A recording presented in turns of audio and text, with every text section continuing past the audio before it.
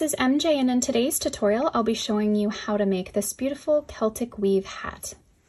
The yarn that I'm using for this hat is Billow. It's 100% cotton and it is a bulky weight yarn. You're going to need two hanks for this design and I'm just going to show you here the uniqueness of this yarn. It does have a thick thin characteristic to it as you can see so it's going thinner to bulkier and it's a really beautiful soft cotton yarn. I'll be using two hook sizes for this hat. So I'll be using the six millimeter for the body portion of the hat and then a 5.5 millimeter crochet hook for the band of the hat. And this hat construction is worked from the top down. So I'll be using the color Sagebrush for this tutorial and I'll be showing you how to make the toddler size hat. So let's begin with a magic ring. So wrap the yarn around your index finger three times, take your six millimeter crochet hook, slide it through all three loops, grabbing your first loop and pull it through. Then we'll chain one. And I'm gonna work 12 single crochet into the ring.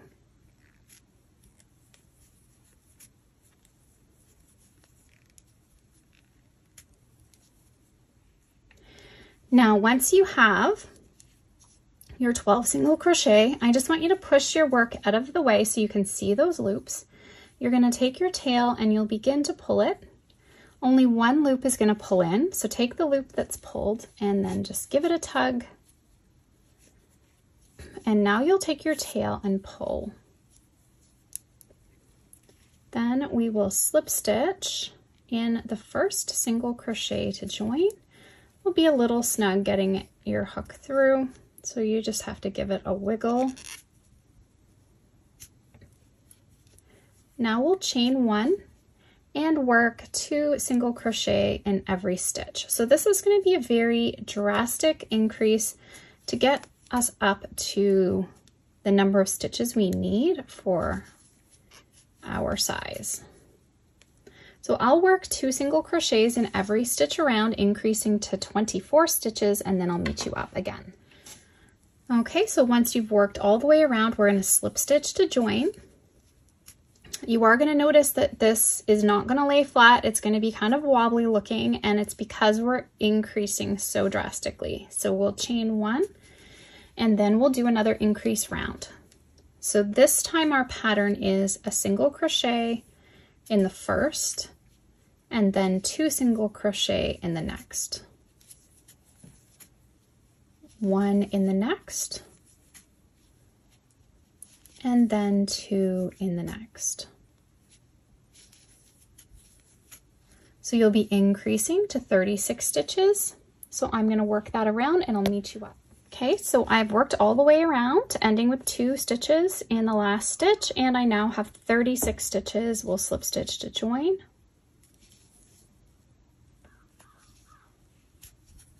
I'll chain one and we'll do one more decrease or one more increase round.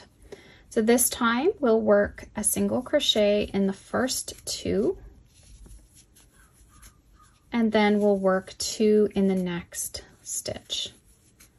So one in each of the next two, and then two in the next stitch.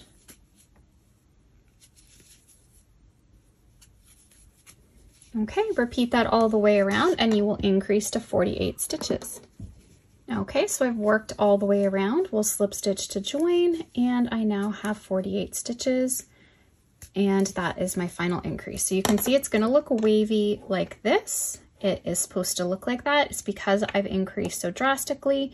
If this really bothers you, just add a round of single crochet without increasing and it will flatten that out. The reason I want to increase so drastically is because I want most of the hat to be in the, the Celtic weave. I don't want to see a lot of this up here. Okay, so now what we'll do is chain two and we're going to do a setup round for the cables. So we're going to work a double crochet in every stitch around.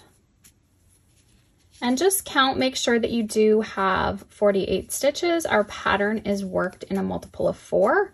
So for it to work out correctly, you need to make sure you have that multiple of four stitches. So I'll work that off camera and meet you up when I'm finished this round. Okay, so once you've worked all the way around, we're gonna slip stitch in the first double crochet to join. So we're going under the loops.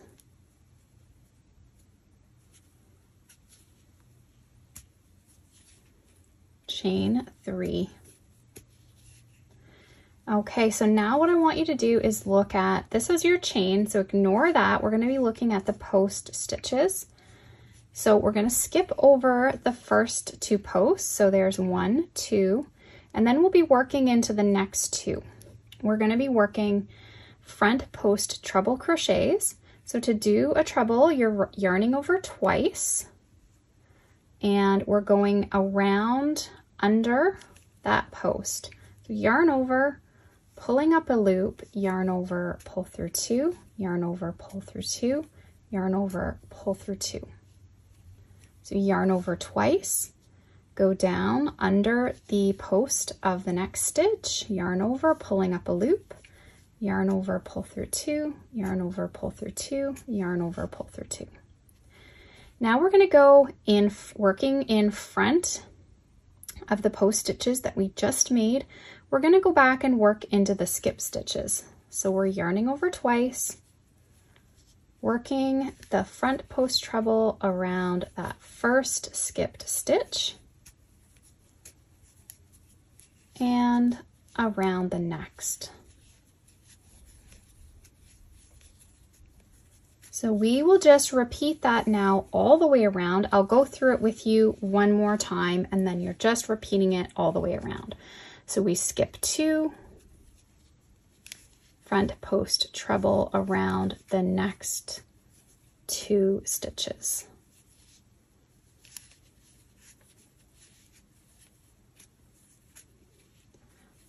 Front post treble back into the skip stitches.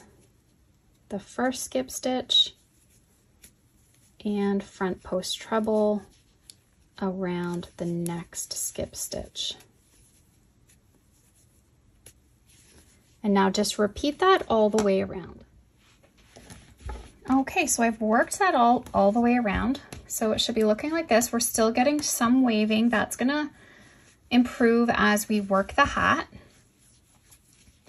Now, what you're gonna do to join is you're gonna see your chain and then you're gonna wanna find the top of the stitch here, okay, to join. So slide your hook under those loops of the front post treble crochet and join. Now we'll chain three.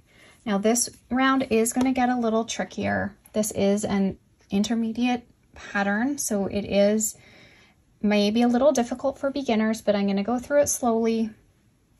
So what you're going to do is you're skipping over now the first four stitches. So this whole crossover right here, we're gonna skip over. And then here are the next two stitches. So that would be your fifth and your sixth stitch. We're gonna be working into them. So we're gonna do a front, front post trebles. This pattern is all worked in front post trebles. So what we'll do is yarn over twice. I'm gonna come over skipping over four, and then we're going into the next two.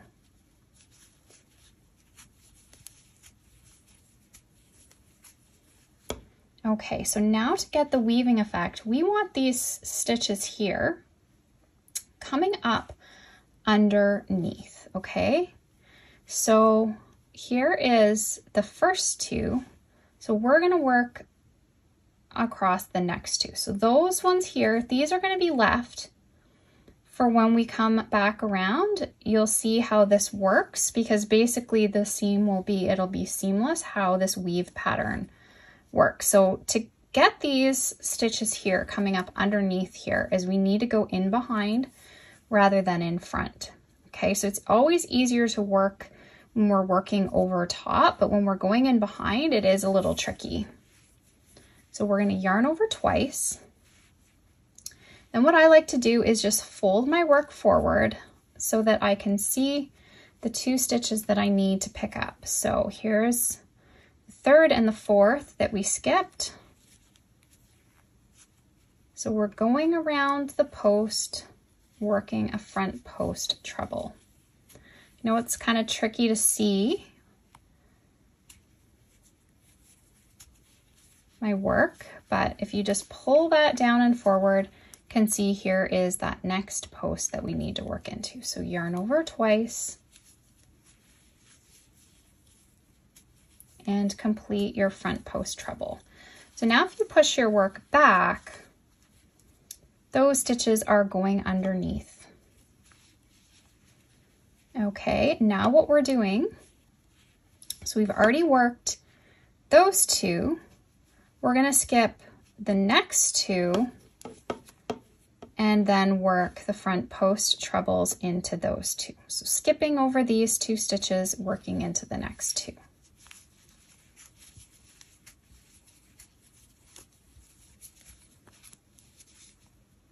And now this will be our repeat all the way around.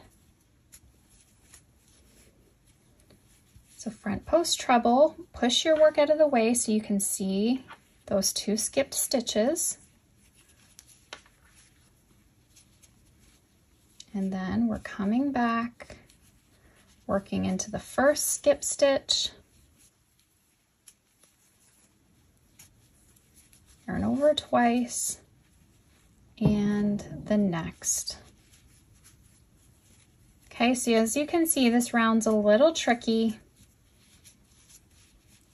but you're wanting to always make sure on that behind round that those stitches are coming up under here and then you'll know you're doing it right. So I want you now just to repeat that all the way around and I will show you how to work that last um, that last repeat over at the join. Okay, so I'm coming around and as you see here, I've got two stitches before the chain. So now remember, we skipped over four at the beginning, leaving those first two stitches unworked. So now what we'll do is we're skipping over the last two stitches, working into the first two.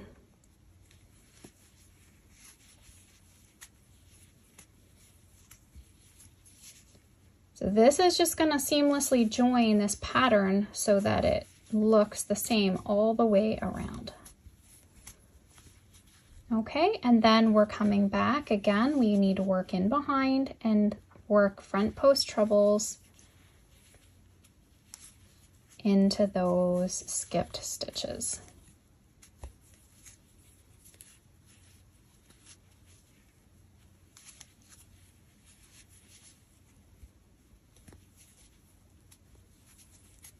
Okay, then we need to find that chain and it's gonna be right in behind here and we're slip stitching in the top of that first front post treble and then chain three.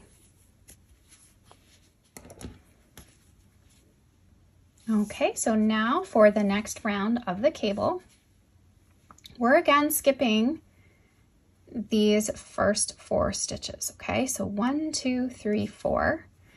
This time, the ones that we're working into are showing up here on the top.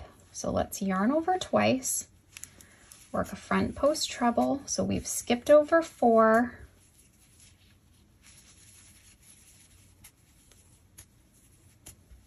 Okay, and now we're still, again, this round, we're leaving the first two stitches unworked. Now, as you can see, these stitches are coming up from in behind. We now want to pull them over top. So we're going to work in front. So this round is a little easier because we just have to work into the front of those stitches. There's the next one.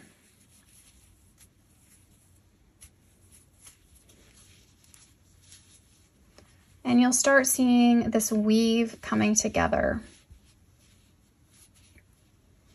So now we've worked into these stitches, we've worked into those, so we're skipping the next two, which are these guys.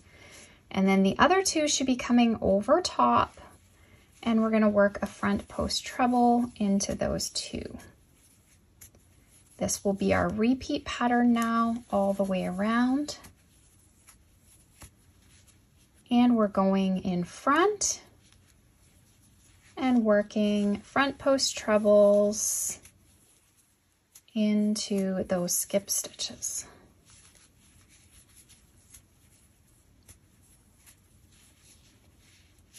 And then we're just, you're just gonna repeat that all the way around and I'll meet you up on that trickier one at the end where we, at the join. Okay, so I've worked all the way around. We're coming to the last two stitches that we're gonna skip over. And here's our chain. Here are those two stitches that we skipped at the very beginning. So we'll yarn over twice, working into those skip stitches on the other side of the chain.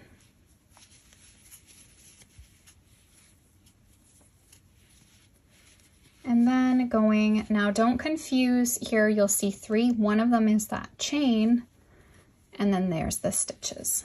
So go over top,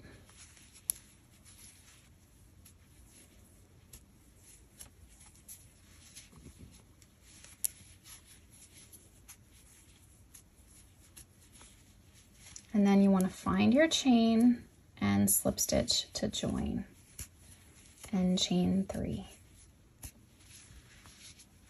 Okay, so now you really should be starting to see that weave come together and your join will be completely hidden. All of those chains are going to be in behind here.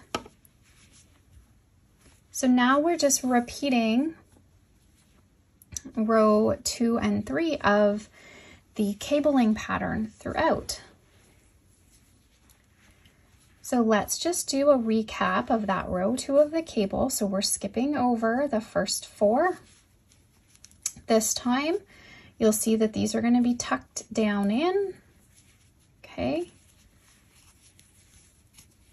We'll work our front post trebles.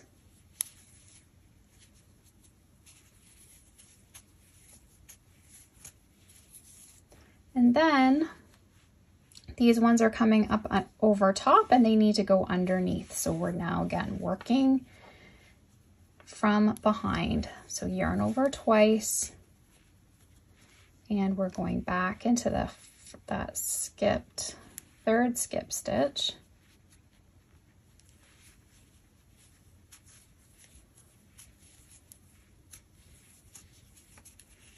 And find, you just got to dig through, find the next one.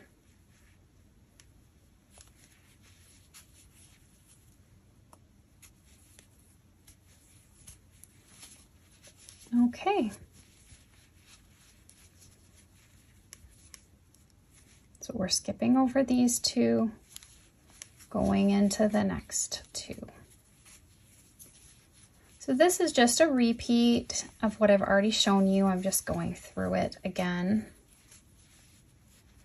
And then push these forward to go back into your skip stitches.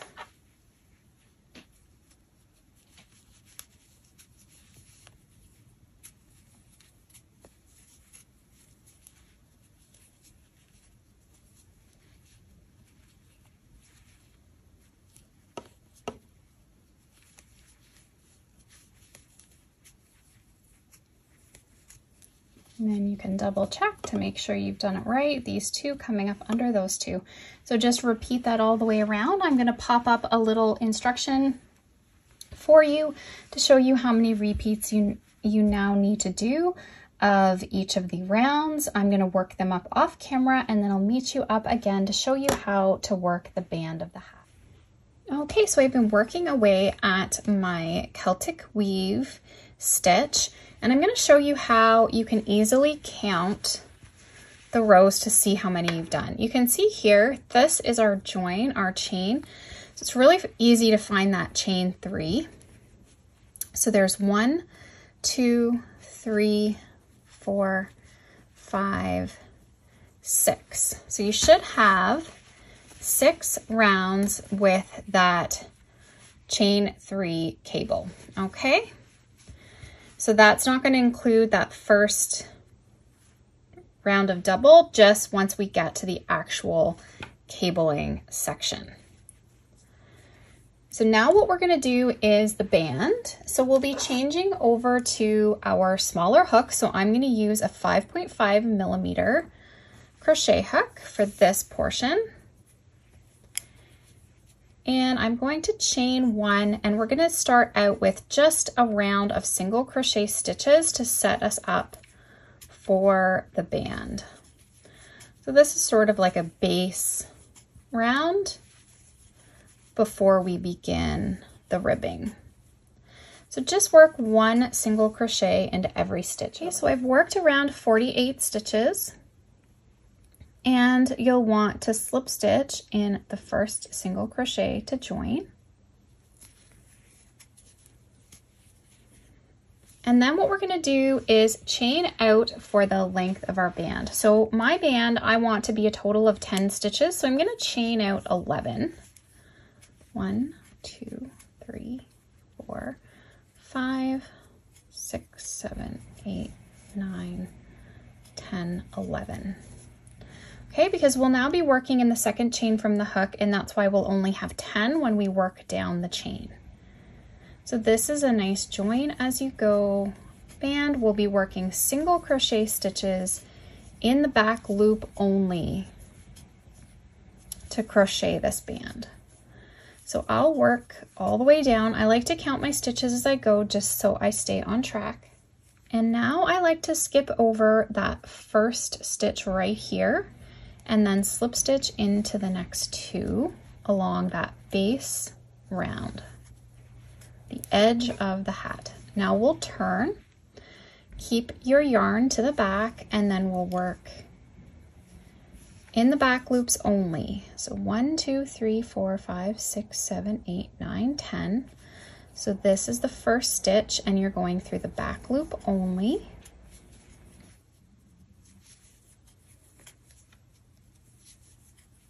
Single crochets in the back loop only all the way across. And then we'll chain one and turn and work single crochets in the back loop only all the way down the row to the base again. Once you've worked your 10 stitches, we're then going to slip stitch into those next two along the edge of the hat.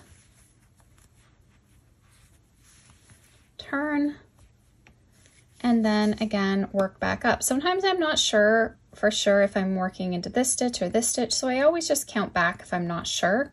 Two, three, four, five, six, seven, eight, nine. So right here, 10. So now we're just going to repeat this all the way around. So we had 48 stitches for our hat. We should have 48 rows for the ribbing.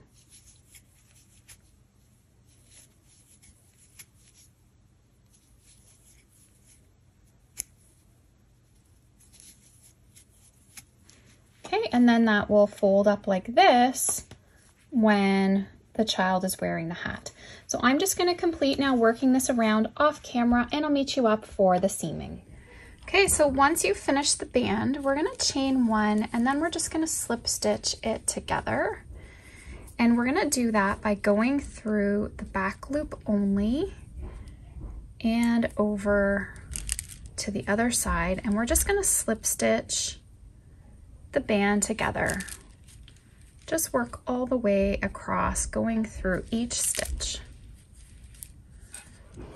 And once you've worked all the way across, I'm just gonna fasten off and then we can weave in this tail and then that seam will be hidden when you flip up your band.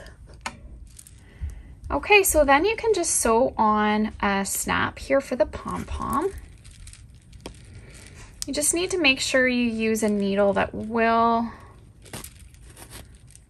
pull through the holes. So I'm just gonna sew this piece on for my pom-pom snap.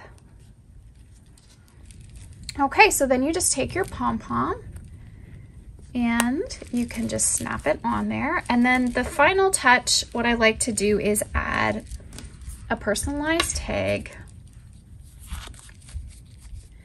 And I'll have links in the description box for these items. And I just use leather rivets for securing. You can get the tags that you sew on as well if you prefer. Now these need to be hammered on and you can purchase the kit that comes with the tools for doing that. It's really easy. You just are basically hammering them so that it, that it doesn't, but they just will snap in place while before you hammer them. Thanks so much for watching. I hope you enjoyed this tutorial. If you did, please give this video a thumbs up. And if you haven't already, please subscribe to my channel and tap the bell so you stay updated on all my new videos and tutorials. Thanks so much, guys. Have an awesome day.